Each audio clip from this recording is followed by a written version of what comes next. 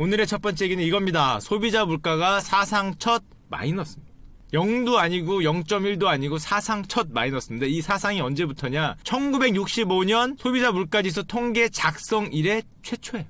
작성 이래 최초란 말은 심지어 그 경기가 안 좋았다던 IMF 때, 그 경기가 안 좋았다던 리만 때도 그 마이너스가 없었단 말이잖아. 통계 작성 이래 최초면은. 그럼 이전의 최저는 얼마였어요? 지난달 0%였어. 지난달 0%. 이번 9월 말고 최저 언제였냐? 8월이었습니다. 자, 2019년 들어서 단 한 번도 1%대로 간 적이 없어요. 1월 0.8% 이후로 8달 연속 0%대로 가고 있는데, 자, 물가라는 거는 간단하게 우리가 얘기를 해보자면은, 자, 물가는 당연히 수요 측 요인과 공급 측 요인이 있죠. 경기가 좋을 때는 요 두 개가 다 좋아집니다. 야, 우리가 돈을 많이 버니까 돈을 많이 벌고 너도 나도 잡이 좋아지니까 수요가 올라가요. 반대로 경기가 좋아지니까 기업들이 막 투자하고 새로운 신기술이 나오면서 공급도 늘어나. 공급도 늘어나고 수요도 늘어나는데 수요가 더 빨리 늘어나면서 경기가 좋아지고 물가도 같이 오르는 게 어떻게 보면은 일반적인 모습이죠. 경기가 좋은데 신기술 같은 게 굉장히 많이 발달되고 공급이 너무 많아서 공급이 오히려 더 많이 늘어서 경기는 좋은데 물가가 별로 안 오르거나 물가가 낮은 상태로 유지한다. 이게 뭐예요? 이거를 골디락스라 그래요. 아니 싸우지 말고 아니 야 물가를 얘기하는데 왜 지금 싸우는 거예요? 나 CPI를 얘기한다니까? 아니 CPI가 우리의 원수는 아니잖아. 소비자 물가 얘기하는 겁니다. 가장 이상적인 거죠. 문제는 자 수요는 좀 오르는데 공급이 안 좋아서 뭐 물가가 오르고 이런 건 가능합니다. 무슨 소리냐? 공급적 요인은 보통 일시적이에요. 자, 우리는 정치는 모르고 이 물가 얘기 좀 합시다. 물가 얘기를 하면은 자, 그래서 우리 정부 아저씨들이 어느 시대나 마찬가지예요. 어느 정권이나 마찬가지인데 뭐 70년대, 80년대, 90년대, 10년대 마찬가지라 물가가 움직이면은 보통 어떤 말씀을 하시냐면은 물가가 내려가면은 농산물 가격이 오르거나 뭐 유가가 올랐다. 즉 공급적 요인에 의해서 물가가 이렇게 움직이는 경향이 있다. 이런 말씀을 많이 해요. 왜냐면은 공급적 요인으로 물가가 움직이는 건 금방 조절이 되거든. 금방 조절이 안 되는 건 수요 쪽 움직임인데 싸우지 맙시다. 자, 그러면 자 우리나라 물가 상승률을 볼게요. 지금 뭐 누구 정권을 욕할 필요가 없는 게 2010년도까지는 여기 있었죠. 2% 위에 있었는데 여기서부터 이렇게 내려가고 있습니다. 쭉 내려가서 이미 이때와 이때는 어떻게 보면은 앞뒤가 그 물가로 치면은 패러다임이 바뀌었죠. 2% 위의 물가와 여기서부터는 2% 아래 물가예요. 근데 전 세계적인 흐름이거든. 그래도 우리가 기대하는 거는 이 정도잖아, 이 정도. 한이 정도. 자, 우리가 기대하는 거는 그래도 한 요 정도. 1에서 2% 사이 정도는 유지해 주길 기대하는데, 어쨌거나 일단, 일로 갔어요. 단방에 뭐 패러다임에 변하고 나발이고 떠나서 1로 내려가고 있는데 이게 얼핏 봐도 우리나라 출생률이라고 한답니다. 출산율이라고 안 하고 출생률 그래프와 굉장히 비슷하죠. 지금 드디어 마이너스로 간 건데 자 그러면은 여기까지 들으면은 야 그럼 형 저게 공급적 요인 유가와 뭐뭐 뭐 어쩌고 뭐 농산물가를 빼면 어떻게 돼 있나요? 빼면 이게 우리나라 근원 물가라 그럽니다. 그거를 좀 어려운 말로 처음에 좀 재미가 없을 거예요. 설명을 좀 드려야 되니까 근원 물가라 그러는데 근원 물가가 뭐냐면은 유가하고 그 과일 같은 가격을 뺀 거예요. 농산물을 빼서 공급 적 요인을 줄이고 수요 쪽만 보는 건데 한마디로 너와 나가 실제로 물가 상승률을 얼마나 느끼냐가 조금 더 민첩한 지표라고 할 수 있는데 그것도 이렇게 돼요. core 물가라 그래요. 그러니까 유가의 상승률 같은 거를 계산할 때 제외시켜서 근원 물가라 그러는데 우리의 수요를 반영한 물가도 지금 상당히 내려가고 있어요. 너와 나의 상황이 안 좋은 거는 맞는 거죠. 디플레이션이라고 얘기하려면 여기가 고착화돼야 디플레이션이라고 얘기하기 때문에 아직은 디플레이션이라고 얘기는 안 하겠다라고 통계청 아저씨나 정부나 한은이 다 얘기를 하고 있는데 자 그러면 다른 나라들 좀 보자. 미국 같은 경우에는 소비자 물가가 이렇습니다. 뭐 이 나라는 세계에서 제일 잘 나가는 나라니까 소비자 물가가 거의 움직임이 없죠. 2010년도 이후에 별다른 변동이 없어요. 그냥 여기서 이렇게 움직이는 거거든요. 요거는 맨날 나오는 리만입니다. 자, 그러면은 우리가 가장 관심 있는 나라를 봐야죠. 일본은 자, 이 노란색을 뭐라 그래요, 우리가? 일본도 1980년대, 1990년대 초반에는 물가가 한 2% 라인에 있었는데 그걸 깨고 내려오면서 0%딱 깬 순간부터 여기서부터 출발을 했습니다. 우리가 항상 얘기하는 그거를 딱 출발했어요. 얘는 0% 라인이 어디냐면 여기에요. 거의 20년간 물가가 0에서 왔다 갔다 했죠. 20년이 사실 한 30년입니다. 왔다 갔다 왔다 갔다 했는데 물가가 마이너스인 때도 있고 플러스인 때도 있지만은 결론적으로는 기준점을 0을 두고 왔다 갔다.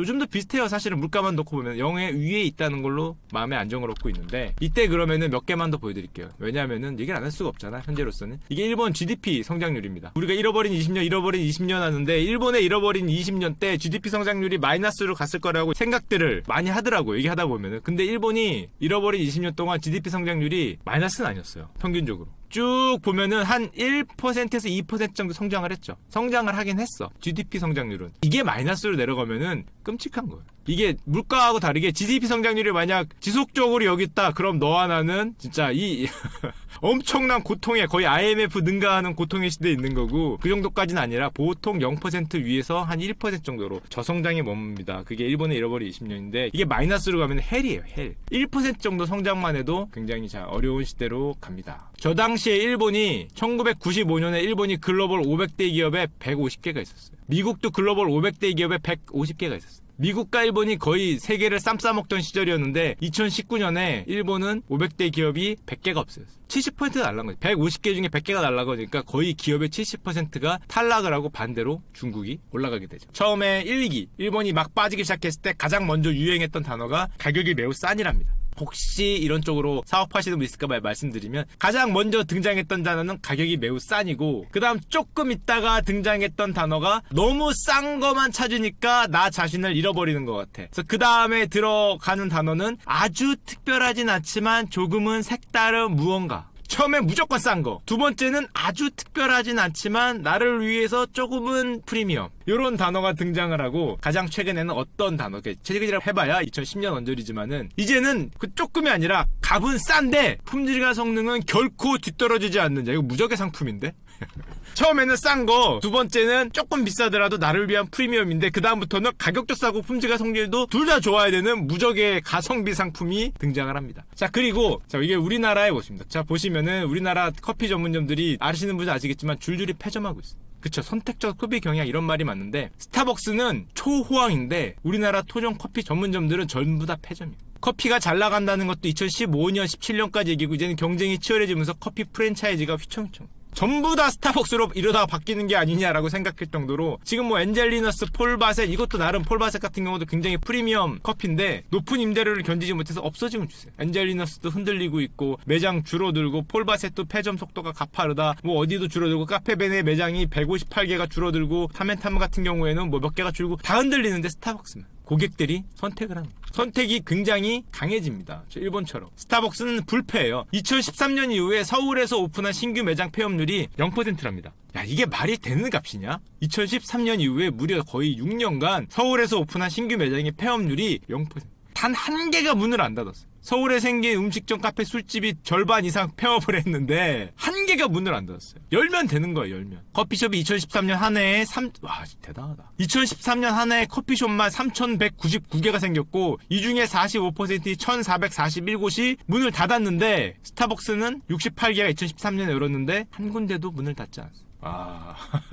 우리나라 국민들, 우리들의 선택이 저렇게 가는 겁니다. 또 대표적으로 유명한 거 있죠. 불황의 상진, 다이소, 스타벅스보다 더 잘 나갑니다, 요즘. 그거 아시죠? 유명하니까. 스타벅스보다 더 잘 나가는 하나를 꼽아라 그러면 여러분 다이소예요. 천원샵, 5천원 미만 상품만 있고 20년간 매장 수가 기하급수적으로 늘어서 지금 매장이 얼마야? 다이소가 1,300개. 스타벅스 매장이 1300개니까 다이소 매장과 스타벅스 매장이 거의 똑같아요. 이제는 스타벅스나 다이소가 생기면은 이곳이 주요 핵심 상권이래. 야, 다이소가 거기까지 올라갔어? 다이소가 생기면 핵심 상권이랍니다. 야, 다이소가 그 정도가 돼? 매출액 잠깐 보여드릴까? 이렇게 돼.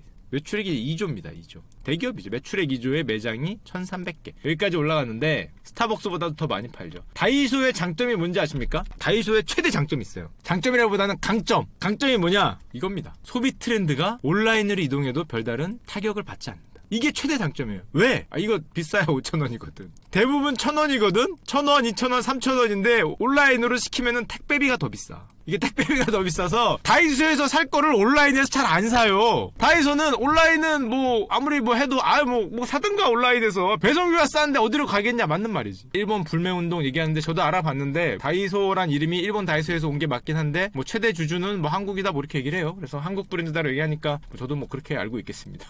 자 그런데 이 얘기를 들려 그랬냐? 요거는 싼 얘기고요. 사실 은 요 얘기를 들려 그랬어요. 2017년부터 우리나라에서 엄청나게 화랑인 산업이 하나 있습니다. 2016년까지 나쁘지 않았는데 갑자기 이렇게 올라가는 카테고리가 하나 있어요. 그게 명품 시장입니다. VVIP들의 시장이 2017년, 2018년에 거의 폭발하듯이 증가를 했는데 백화점들이 그러다 보니까 리뉴얼을 하고 있어요. 천만 원대 쇼핑을 하는 고객을 모시겠다라고 좀 경쟁을 하고 있는데 VVIP라 그러죠. 2019년입니다. 상반기 해외 명품 매출이 작년 같은 기간보다 얼마가 늘었다고? 25%가 늘었어요. 명품 자파가 30%가 늘었어. 현대백화점도 마찬가지예요. 명품 매출이 거의 30%가 늘었어요. 신세계도 20 이거 1년입니다. 1년 YOY로. 얼마나 늘었냐면은 국내 백화점에서 해외 명품 매출이 차지하는 비중이 옛날에는 12%였거든요. 지금 22%.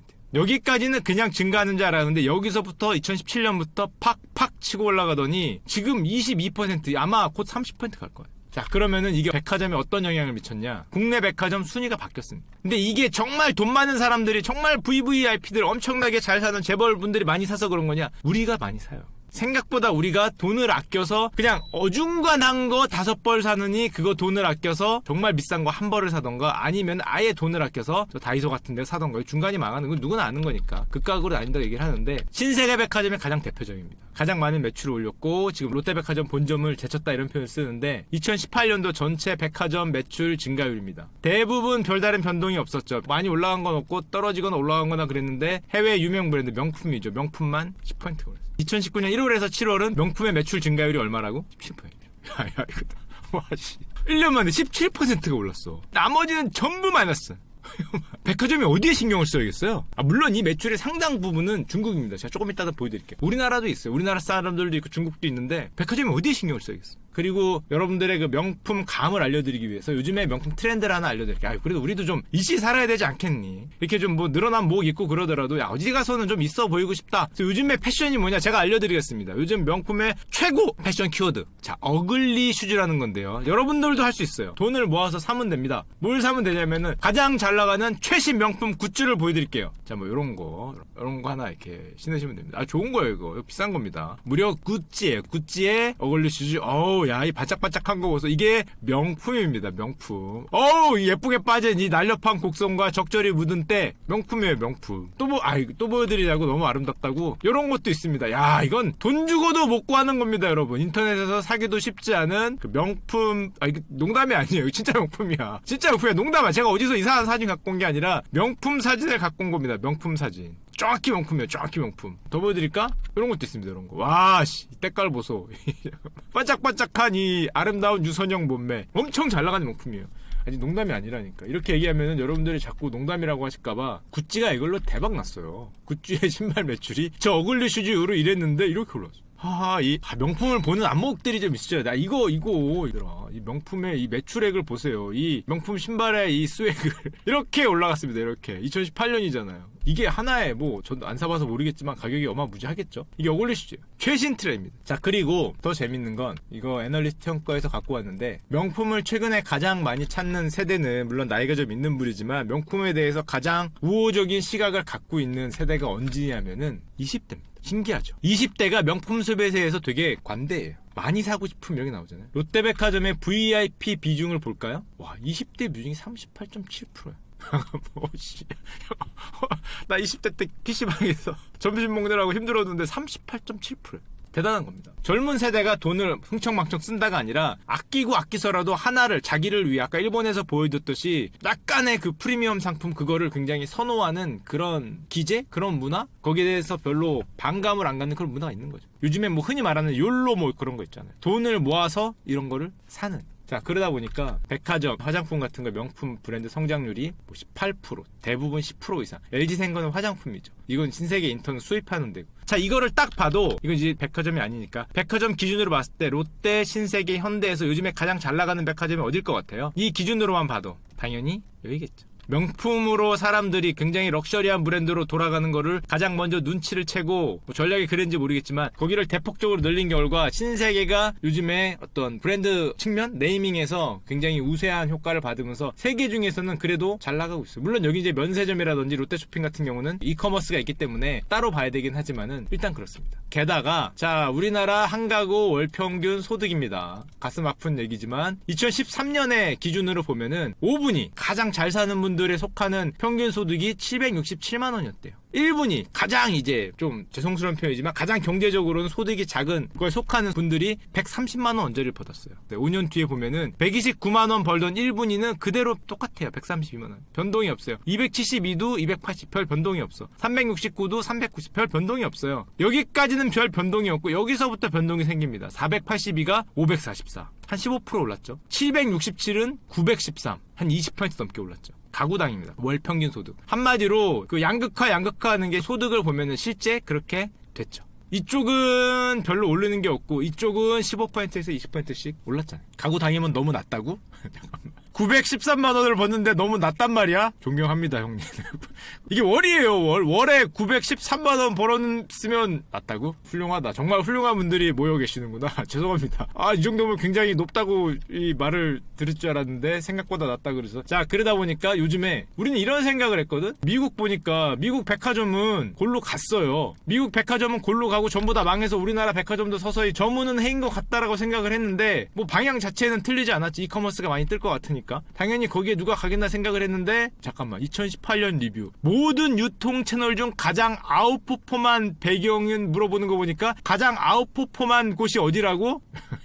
이 리뷰입니다. 2019년도 레포트예요. 작년에 모든 유통 채널 중에 가장 outperform한 곳이 백화점. 우리의 예상은 야 이거 미국 시어스 망하던데 미국 최대 명가죠 아마존에 밀렸다며 쟤네 골로 가더라라고 듣고 있어서 당연히 아무 생각 없이 그럴 줄 알았는데 물론 좋진 않아요 물론 여기가 엄청나게 이렇게 올라간다는 건 좋지 않은데 이렇게 될 줄 알았는데 이렇게 되고 명품 수요가 증가. 그러면서 이 레포트에 제가 생각하는 답까지 다 올라와 있더라고요. 문 닫는 미국 백화점과 호황인 한국 백화점의 차이가 글로벌 대표 명품들이 특히 아시아 시장에서 굉장히 아시아의 밀레니얼 2000년대 세대하고 Z 제네레이션의 구매력 확대가 늘어나면서 이쪽에 굉장히 어필을 한다. 특히 우리나라는 옆에 누가 있다? 이분들이 계시죠. 지근거리에 세계 명품 시장의 32%를 차지하는 나라가 있습니다. 이분들의 수혜를 받고 한국에서도 마케팅을 강한 면세점은 아예 저분들이 점령했어요. 면세점 분석 이러면은 저분들에 대한 분석입니다. 내국인 매출은 별 의미가 없이 멈춰 있고 이게 다 외국인인데 거의 한 80% 이상이 저분들이 아닐까. 면세 시장도 굉장히 크거든요. 저 아까 롯데 쇼핑이나 신세계 같은 거에 영향을 미치는 거에 면세점에 대한 변수가 굉장히 가격에 영향을 많이 미치는데 아예 저분들이 점령을 했어요. 옆에 가까운 곳에 저렇게 명품에 대한 굉장한 수요를 갖고 있다는 게 어떻게 보면은 이런 사업을 하는 데는 굉장히 장점인 거죠. 자 그러다 보니까 아까 전에 명품 시장에서 조금씩 밀린다는 평가를 받고 있는 현대백화점이 어떻게 됐냐? 우리가 생각하는 백화점의 어떤 주가 모습이 이렇죠. 모든 백화점이 왠지 이렇게 될 것 같잖아요. 이렇게. 서서히 내려가는 모습. 별다른 반등 없이 서서히 내려가는 현대백화점이 이렇게 서서히 내려가고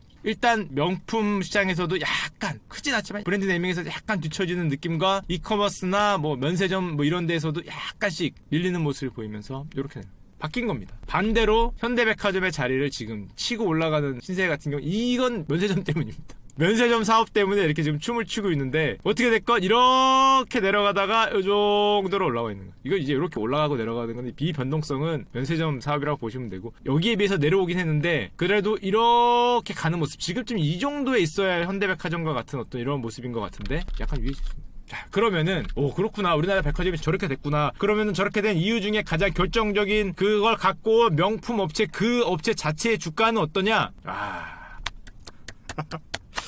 그렇죠. 저런 걸 사야 되는 겁니다. 저런 걸. 허허, 뭐 저기에 인해서 뭐 쟤네가 뭐 죽을 똥 살 똥 살 수도 있을 것 같고 죽을 수 있을 것 같고 이런 이상한 생각을 하지 말고 아이 뭘 그렇게 이상하게 생각해. 이것 때문에 그렇다고 그러면 그걸 사면 됐던 거예요. 그걸. 뭐 괜히 아 현대백화점이 좋네. 아 신세계인가 롯데인가 이거 고민하지 말고 그냥 이걸 샀으면 됐다. 와. 최고가입니다. 이런 어떤 이게 대부분 아시아 특히 한국과 중국에서 굉장히 많이 발생하고 있는 일이잖아요. 특히 중국은 그런 걸 원래 좋아하고 우리나라도 극단으로 갈리면서 일본이 옛날에 명품 사랑으로 유명했어요. 기억나실 분 아시겠지만은 잃어버린 20년 말 후반기 정도 해서 2000년대 초중반에서 일본 하면 명품이었어요. 그때 당시 일본을 휩쓸었던 아이템이었거든. 우리나라가 왠지 느낌이 굉장히 그대로 따라가면서 20대 분들이 조금 비싸더라도 충분한 퀄리티와 충분한 만족을 주는 상품에 대해서 욜로 하는 그런 느낌. 그걸 좋아하는 느낌이 당겨지 이 어지면서 아시아 쪽에 대해서 Z세대, 밀레니엄 세대에 대한 명품 수요가 굉장히 올라가고 일본 많이 따라가죠. 사회적인 모습으로.